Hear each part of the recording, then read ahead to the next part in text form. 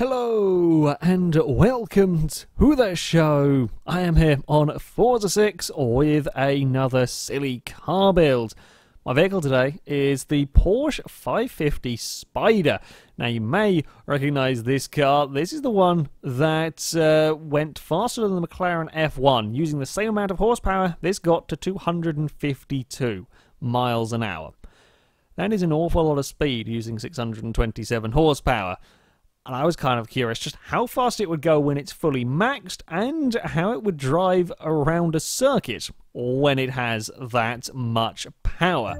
The car, as it's uh, yes, as it's the one that I use, does have some upgrades, all or quite a lot of upgrades already installed on it. We are going to start by putting some aero on the vehicle. All of the vehicles have been run with it, as it's going to try and make it around a track this is going to be rather important. You can tell by the fact that it jumped the P up by about 20 that, uh, yeah, it is uh, pretty important.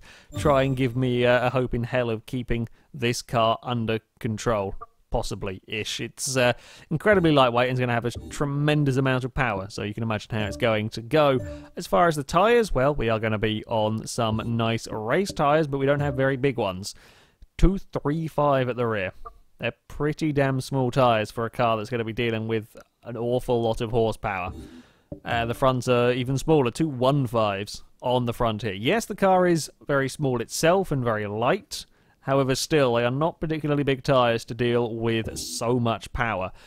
Could be quite twitchy when it comes to dealing with a, a wet circuit. Uh, I think there's bits and pieces of these installed. Might as well go through and uh, put the rest on. I did use the race gearbox and the uh, the race diff. often very important on these classic cars um, because, yeah, they like to spin one wheel. So, useful upgrade, the uh, race diff. I pretty sure we've got all of these parts on, but shall just check, and indeed we do. Now, for the engine bits and pieces. Some of these parts are already on. It was all about trying to find the balance that got to the, the right horsepower figure. This should be pretty damn fast, though, in a straight line once I am, uh, once I am done with it because it is going to have significantly more horsepower. It's got the uh, 3 litre flat 6 in the car, twin turbocharged, at 826 horsepower. That's a pretty big jump from the uh, 620 that I drove with it last time. Uh, the intercooler will add some weight, but does add another 35 horsepower to 861, and the oil and cooling is already on the car. So that's quite a lot of power, quite a lot of torque in an incredibly light vehicle with tiny tyres that I'm now going to try and drive around a very tight, twisty racetrack. And that circuit would be the Virginia International Raceway, where the Porsche will have five laps in an attempt to go as fast as possible. A current leader, the Bentley Continental GT, has a lap time of 108.4 although that is unlikely to uh, be toppled today. The Bentley was a mighty composed, incredibly powerful four-wheel drive car. While yes, it was heavy, it was a very nice driving car. This may well have a far better power to weight ratio. Probably would out-accelerate the Bentley once it's got its power down, but power delivery on this very wet surface is uh, likely to be problematic for the Porsche. That uphill section is not going to be fun. That uphill section is really not going to be fun in this car. It's uh, sort of full racing speed. Oh, please get turned, please get turned, please get turned. Eventually, we'll make it around these corners. This is a nasty circuit, this one. This is probably one of the, the most most demanding circuits, certainly uh, the tracks that can be driven in the rain. This is one of the toughest because of some very slow, tight corners early on, and there are still a couple of uh, faster bits later in the lap that uh, you need some decent, oh god, some decent grip for to carry any speed around. It's a demanding place. That is, uh, that is for sure. This turn here, probably the nastiest of the lot. I really don't like that corner. It's such a tough one to get right. Not being a particularly good opening lap from the Porsche. I've been missing apexes all over the place. But a little bit of uh, under. I think we just have a lack of grip more than understeer, to be honest. It's, it's just not got the grip. Power delivery, oh, I'm trying to be careful and not spin the wheels. It's almost working. Can we get full throttle in six? Oh, God, that's scary. 186 miles an hour before we jump on the brakes. We're not stopping. Oh, ugh. that's a bit close. Okay, could have been a bit closer. Um, okay, we have a lot of speed. That is a new record for speed down here. However, it did not get stopped. Nowhere near got stopped either, for that, for that matter. So we're going to have to go on the brakes earlier. It does not actually get slowed down very well, this car. Ooh, careful. Yeah, and then we're going to get a bit of oversteer. Yeah, we do not really stop for turn one. We have the same issues that lots of cars have had with these slow corners, just struggling to get the front end turned in, struggling to carry corner speed. And then when you do get the front end turned in, you struggle to put any power down out of the corner because, well, there's so much power trying to escape onto such a wet surface. And this is really not helped by the tiny tyres that we have on the back of the Porsche. Good news, though, for the car is it's not snappy oversteery. Not like I was kind of expecting it to be. Things like the, the Maserati birdcage that went around Brands Hatch, that thing was horribly, horribly snappy and uh, wanted to kill you pretty much all of the time. This, you know, it spins the wheels up and it doesn't take much to get it sideways, but it's not so snappy. It's a lot more manageable in here, which is nice. I can I can deal with that a bit better. Right, we're trying to. All oh, those bumps are going to be horrible. We're a bit earlier under brakes. Oh, okay, that's a bit spot on. That I might have turned in a fraction too soon. Yeah, we do not want to brake any later than that. Uh, up into that first corner is um, yeah, it's such a tough kind of stopping stopping area. The problems I never foresaw the problems when I selected this as a track to be used in this series. I never foresaw the problems with the the uphill bumpy section. In a lot of cars, you don't notice it. Certainly in the Maserati that was used as the benchmark, the uh, the race car, and a lot of the early vehicles, the Mercury Coupe, etc., didn't have such problems coming up that hill. It is deceptively bumpy, and in a car like this, that has so little grip, you hit the bumps at 170 miles an hour, and naturally the car just gets flung off the track or gets flung sideways. So that is a really vicious uh, part of the circuit that some cars just don't even notice it, but in a vehicle like this, you've got to be really careful. So actually trying to get to full throttle in this vehicle is quite difficult around this track, not only because of the wheel spin, but by the time you can get to full throttle, which is here, it wants to burst into wheel spin up the hill. bloody terrifying. Okay, I got on the brakes a little early into turn one, but at least we actually got it stopped neatly. We were under control coming into the uh, first corner. I've got to say, I am quite impressed by this Porsche. I was expecting it to be not quite undrivable, but combine such tiny tyres with such power output, and again, such huge power to weight ratio here, this could be a lot worse could be a hell of a lot worse. Actually, through these sections, yes, we lack we lack grip. We have quite a bit of understeer and then on power oversteer, as you would expect. However, it could be a hell of a lot worse. It could be a lot snappier. It could be a lot more difficult to drive. Brakes aren't great, but uh, aside from that, I'm pretty impressed with the way that uh, the 550 drives. It also helps this being mid-engined as opposed to the other classic Porsche I drove being rear-engined. The front of the car isn't lifting up. It's not wanting to do a wheelie constantly. The uh, 3356 is it? I can never remember the name. Um, yeah, that was quite a pain in the ass to drive when it was constantly wanting to wheelie. This thing we don't have that problem with. But we do still have an overall lack of grip. Oh, there we go. I thought I braked a fraction too early there. I was a little let off on the brake in the braking zone, and then I thought I'd completely screwed it all up. But we were okay on the run into turn one. We found a little bit of time.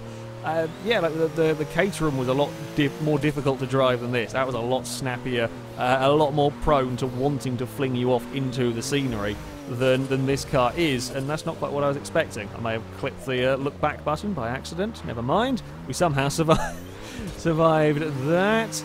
Okay, try and put that power down. We're actually going quite quickly on this lap around if we can finish off the uh, the lap neatly. Oh no, we've got it running a little wide through there with some understeer. I thought I got it slowed for that corner enough. I had not. Now we chuck it into this uh, final turn. There is a big puddle on the inside. Uh, it doesn't really affect the cars too much, though, the puddle down there, so not too worried about that one. Try and get the power down on the run towards the line. Oh, we found a lot of time on that final lap. I don't know where that lot came from. okay. I don't know where I found a second on that last lap, and I know I was a little wide through that kind of third to last corner bit out over that way somewhere. I was a little wide. I got a little bit of understeer. Carted the car wide. I was not expecting that speed from the Porsche. We shall have some celebratory donuts indeed for that one. That was some that was some good going actually. Yeah, it's, it's not an easy car to drive. The power delivery is brutal. It will spin its wheels, and it doesn't like the crests and the bumps on the run up towards the uh, the turn one, as you might expect a small light car to have issues there. However, it's actually pretty nimble through the corners. It does a pretty good job of changing direction, and it hasn't got the brutal, kind of the brutal, scary power delivery of the Caterham or the Jaguar D-Type. For um, for for that point, it's just a bit better that's that's quick quick lap time. It goes second place on the leaderboard, beats the Dodge Charger, Hellcat, the Honda S2000, the Chrysler Rocket, and that's in a car that I thought was going to be bonkers and barely controllable. You know, down with the Jaguar D-Type and the Caterham. I thought that was how it was going to drive. It simply doesn't. The brakes are a tad scary in places, but that's really very good going.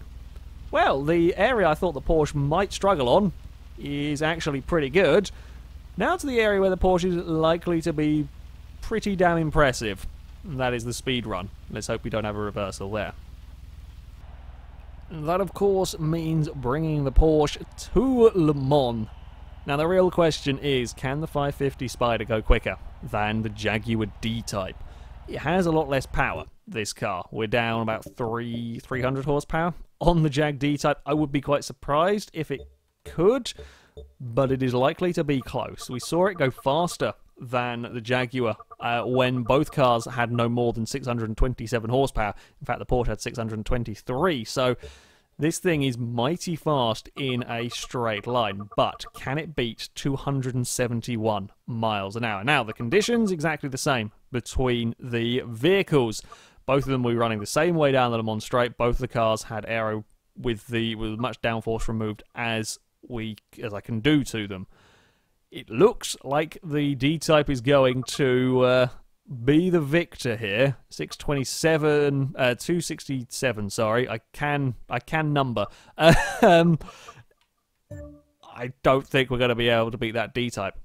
I think what we're what we're seeing here is a case of the Porsche is simply going to run out of power to keep propelling it forward the Jaguar had 1,200, which is a stupendous amount. This has got less than. Got, the Jaguar's got over 900 horsepower more than this. This is under 900 horsepower.